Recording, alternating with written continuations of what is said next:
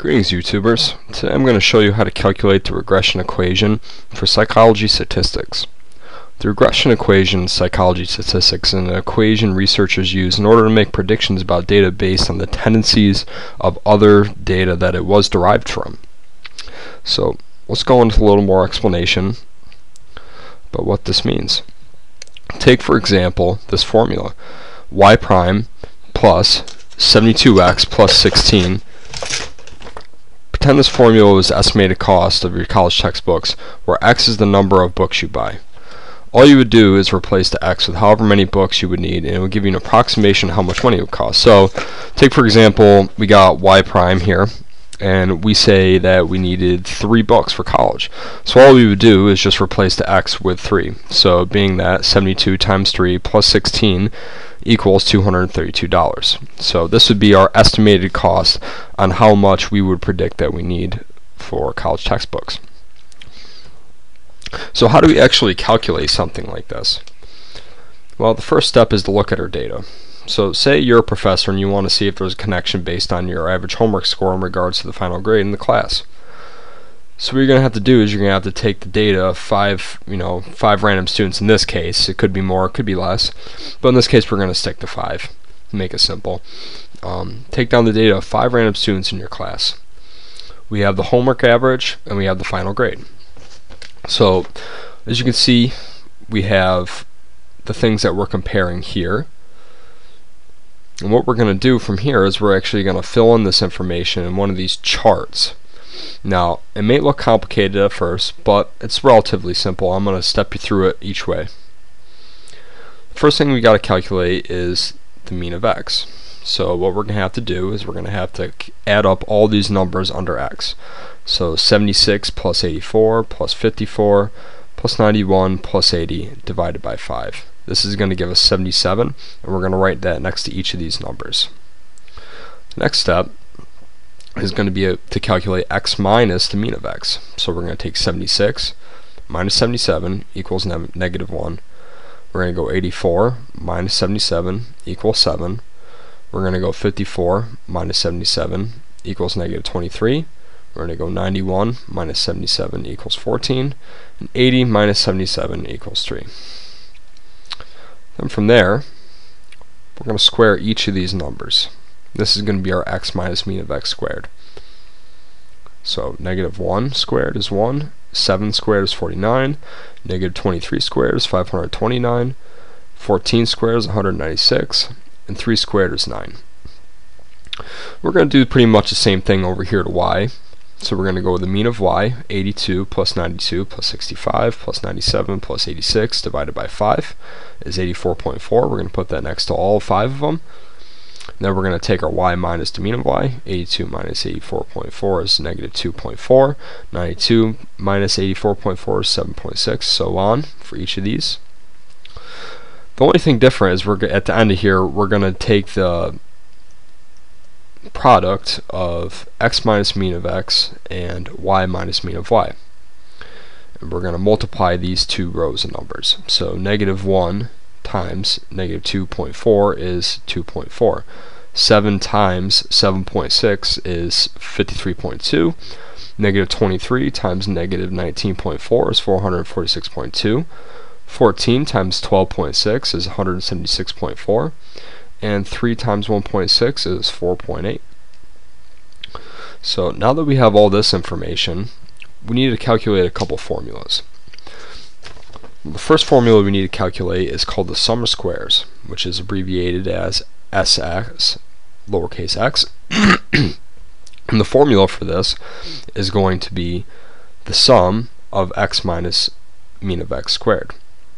So we're going to add up each of these numbers here 1 plus 49 plus 529 plus 196 plus 9 is 784 that's our sum square.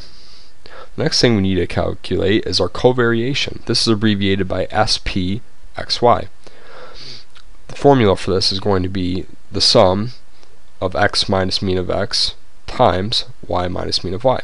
So we're going to take these numbers over here, we're going to add them all up. So 2.4 plus 53.2 plus 446.2 plus 176.4 plus 4.8 683.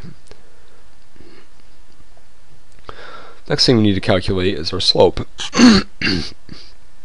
our slope is going to be abbreviated by byx equals our covariation divided by our sum of squares.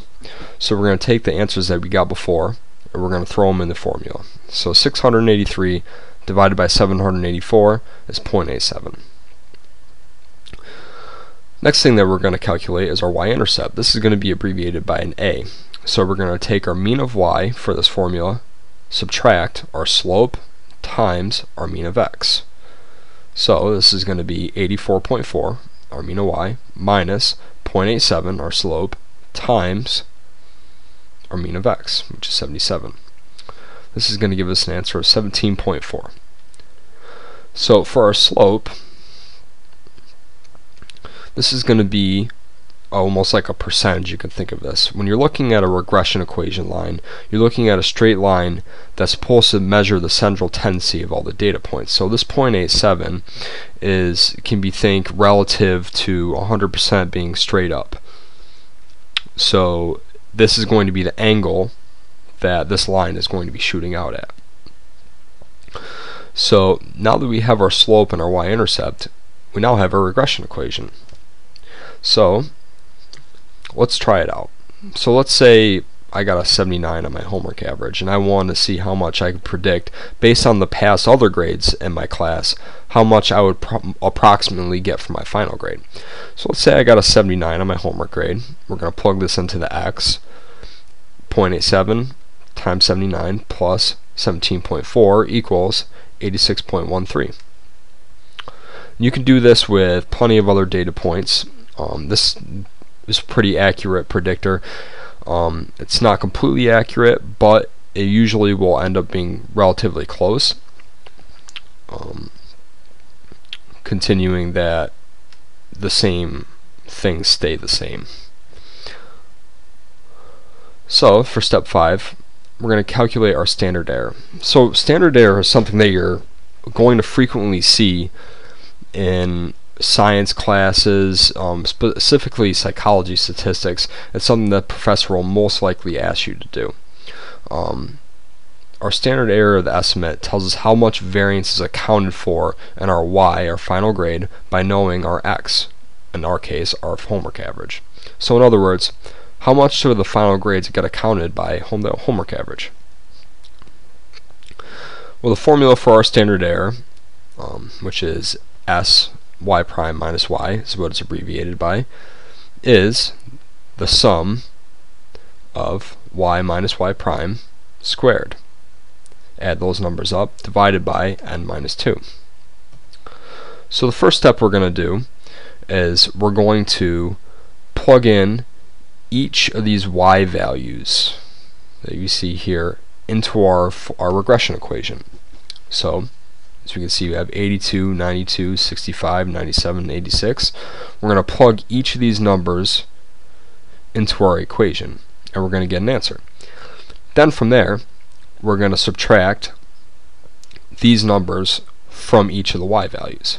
So, for y, we have 82, and the answer for in the equation was 88.74. So we're going to subtract the 88.74 from the original 82 we're going to get an answer. And we're going to do the same thing for the 92. 92 minus 97.44, 65 minus 73.95, and so on. then from here, we have to square each of our y minus y prime values. So 6.74 squared is 45.43, 5.44 squared is 29.59, 8.95 squared is 80.1 and 4.79 squared is 22.9 and 6.22 squared is 38.68. Now we need to take the sum of each of these. So we're going to add them all up and we're going to get a final answer for the top of 216.71. Divide this by n divided by 2 So our n is 5 in this case, how many total number of participants we have. 5 minus 2 is 3, so 216.71 divided by 3 is 72.23. Then we got to take the square root of this number. So the square root of 72.23 is 8.49, and this is our standard error. So going back here to n, in case you guys didn't know, our n value is actually going to be the total number of participants in the sample size. And it is always used as a universal, um, I guess, way of measuring how many people are in a sample size. And you'll see this in a lot of um, science research if you're a science major. So now that we calculated this, we are all done. So if you feel confused, rewind back, read through each of the steps, and each step is pretty explained. I try breaking it down into the best incremental steps as I possibly can. Um, just remember that you can do it. Um, it is more simple than you think. The first time you go around this, you see a lot of different you know, I remember the first time I did it, I had to go through and I saw all these different steps, and I thought it would be difficult, but it's it's it's really not. It's it's relatively simple. Um, you know, just keep going through, and don't forget to subscribe for the channel for more learning opportunities in psych and psych statistics. Um, please support by subscribing. So, good luck.